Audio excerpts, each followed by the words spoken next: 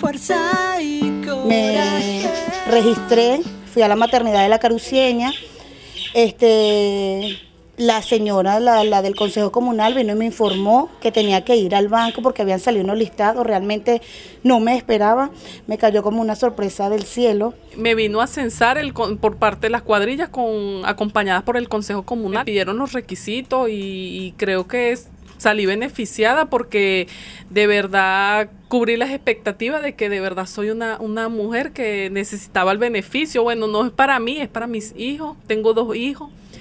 Tengo un hijo que es discapacitado, tiene problemas de habla y gracias a la misión, bueno, él va a estar un, va a tener un futuro mejor porque va, va a poder este tener su, su este va a vo- poder tener su entrada de dinero seguro, va, voy a poder comprarle sus cosas para la escuela y esta ayuda que nos están dando con la misión, gracias al presidente que siempre se está acordando de nosotros los pobres. La sorpresa más grande cuando fui al banco, no había cola ni nada y me dijeron de una vez, no señora, pase por acá, me dieron una tarjeta de débito y automáticamente de la emoción salí corriendo al Bicentenario y de una vez lo primero que hice fue un buen mercado para mis hijos.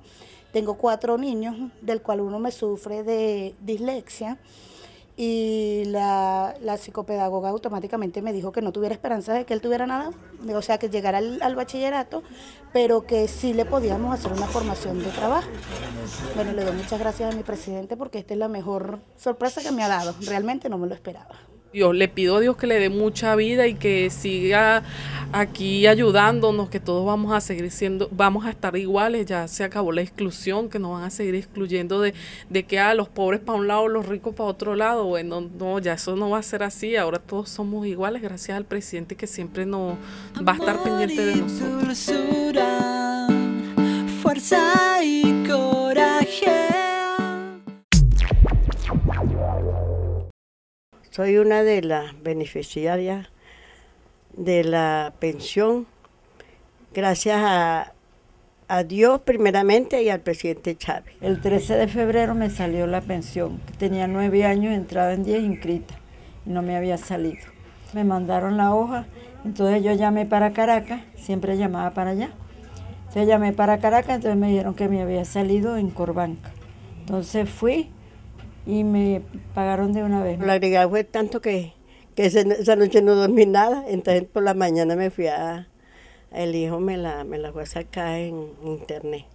Gracias a Dios ya, ya estoy cobrando y me alegra mucho porque estoy contentísima por eso, porque en verdad Náhuara la necesitaba mucho. Demasiado la necesitaba para las medicinas, para un poco de exámenes que me han mandado, resonancia y todo, por la, por la enfermedad mía que es artritis. A las otras abuelas que tengan paciencia, porque hay que tener paciencia, porque yo tenía ya, nosotros teníamos ya ocho años, ¿verdad? En esto. Ante todo mi saludo y le deseo la salud, a- eh, primero Dios y después Chávez.